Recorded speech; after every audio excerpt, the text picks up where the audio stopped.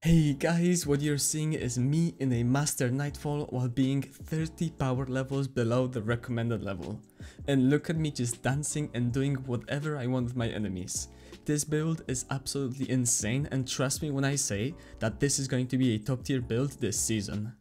Now, being 30 levels below recommended means I'm taking 250% damage and only doing 40% of what I should be doing yet I still managed to one-shot champions in a Master Nightfall with this build. I see a lot of people making the typical Liar's Handshake build that has been in the game for ages. However, in my opinion, Assassin's Cowl is so much better in every single aspect. Take this Legend Nightfall as an example, you're going to one-shot champions regardless of whether you are using Liar's Handshake or Assassin's Cowl.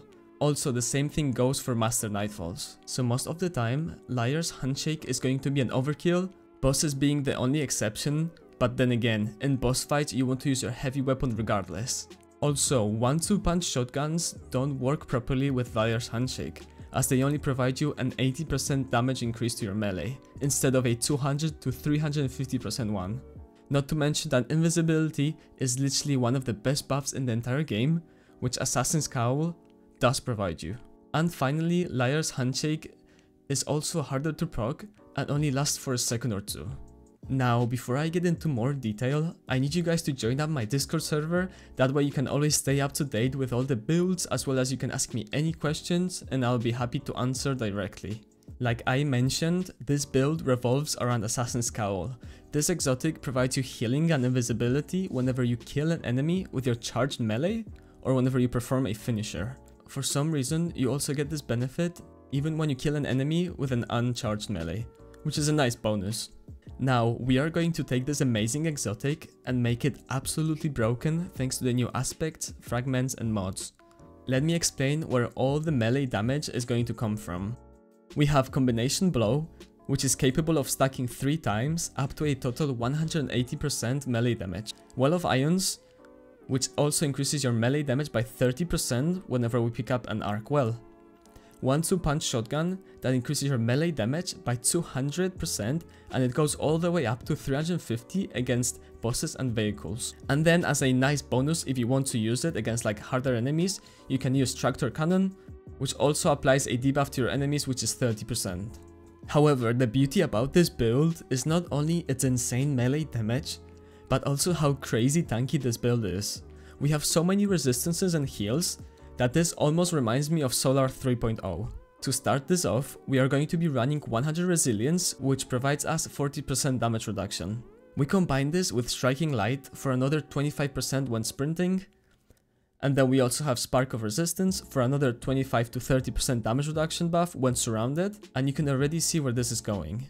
We also have the healing and utility that we get from our exotic, the shielding that we get thanks to reactive pulse, and the healing from our combination blow. I mean, this is as good as it gets for hunters this season, and I doubt there will be a better build capable of beating this one. I'm personally going to take this into raids, master content, and endgame content. Now that you guys have an overall idea of how ridiculously OP this build is, let's get into more detail and talk about the aspects, fragments, and mods that we are going to be using. Stat-wise, we are going to be aiming for 100 resilience, then as much recovery as you can get, and the rest you just put it in discipline. Now, the reason why we are not running any mobility, it's simply because we are going to be getting our dodge back thanks to our charged melee. Ability wise, you want to stick with Gathering Storm as your super, which is an amazing super this season. You definitely want to use Gambler's Dodge because this is a must for this build and then we are using combination blow for that stacking damage buff and for that healing. I also like to run this with a flashbang grenade just to have that extra utility on my grenade which is the blinding effect that this provides.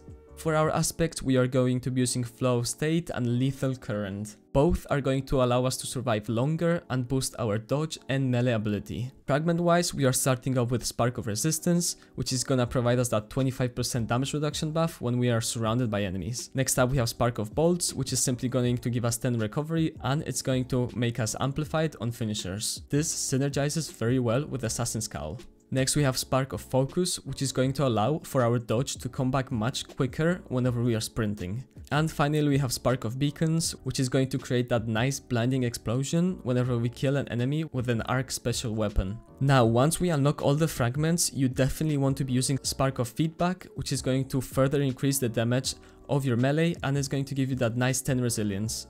Starting off with our mods, we are going to be using Well of Ions in our helmet, and this is going to give us that 30% damage boost whenever we pick up an Arc Elemental Well.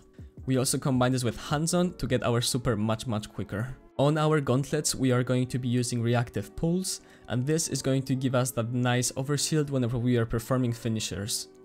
That's the main reason why we are using this. On our chestplate, we are going to be running Melee Wellmaker, and this is going to be creating those Arc Elemental Wells whenever we defeat enemies with our charged melee. On the boots I am running Seeking Wells, however this is personal preference. Now in here you can use whatever mod you want, you can even use Font of Might. And finally on our cloak we are using Striking Light, which is going to provide us that 25% damage reduction whenever we are sprinting, which should be all the time, especially with this build. I also paired this up with a special finisher to create that special ammo for me and my whole team, but honestly you can put anything you want in the slot, even an artifact mod. Weapon wise, my favorite loadout, it's running a bow or a weapon capable of dealing with champions as my kinetic weapon. A shotgun on your energy is a must. And then I like to use the lament, that way I also have that anti-barrier. Meaning that with this loadout I can deal with all three champions Another one of my favorite loadouts is running Tractor Cannon instead of the Lament, which provides you that extra damage when you need to burst those harder enemies, but mainly you want to be running a 1-2 punch shotgun and that's the only requirement for this build. So the way you play this build is by punching everything in the face. No, seriously, all you have to do is just melee and then dodge to get your charged melee back and then rinse and repeat. Each kill that you get with your charged melee, you're going to be stacking combination blow and other buffs which will increase the damage of your melee and it doesn't get any more complicated than that. You do want to sprint as much as possible because with this build, you do get some insane benefits when you're sprinting, so keep that in mind. And that's it guys, thank you so much for watching and as always if you could support me by liking and subbing, I would really appreciate it, it really means a lot to me. Big thanks to my supporters as always, you make these videos possible. Go out and enjoy this build and have a great rest of your day.